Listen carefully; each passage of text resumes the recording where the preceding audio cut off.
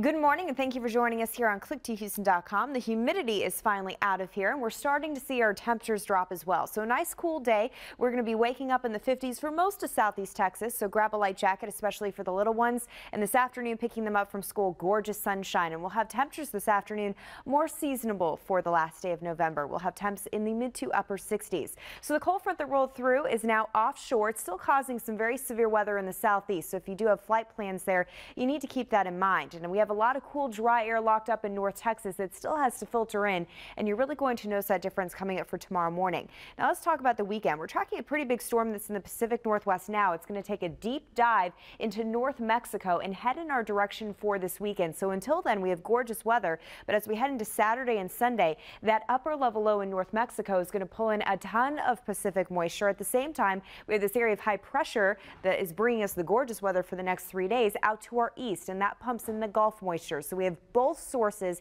just sitting right on top of southeast Texas, and that's going to translate into a very soggy weekend. Cool temperatures in the 50s for most of the weekend. We're looking at uh, one to two inches for part of southeast Texas, but the potential is there for three to four inches of rain as long as it's spread out over Saturday, Sunday, and Monday. I don't think we'll have large flooding concerns, but we'll continue to keep a very close eye on it.